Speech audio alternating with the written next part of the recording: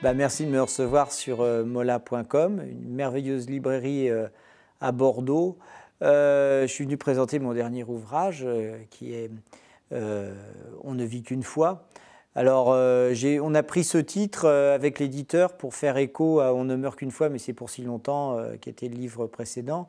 Mais ce livre est en fait le recueil des chroniques d'urgence pour être un peu dans le présent. J'ai voulu réécrire euh, les chroniques qui étaient parues dans Charlie Hebdo et que je continue à faire d'ailleurs, euh, de manière à faire un recueil euh, par rapport à la crise sociale qu'on vit actuellement, très, très optimiste. en fait, pour reprendre un peu le mot de Beaumarchais, peut-on rire de tout de peur d'avoir à en pleurer? Voilà, c'est démontrer qu'on peut, sans se moquer, essayer de trouver du sourire dans la crise actuelle. c'est aussi un livre qui permet de, comment dire, de voir la globalité de la problématique euh, sociale actuelle et que la prise en charge des malades, bah, c'est médico-psychosocial. Euh, ce n'est plus simplement voir euh, la personne dans simplement son, problème de maladie, mais c'est voir dans la, dans la globalité.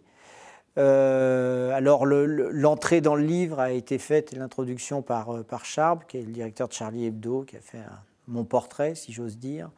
J'ai réécrit une, une, introduction par rapport à, un événement familial assez fort qui est, qui est arrivé, donc j'ai voulu faire un texte très intimiste.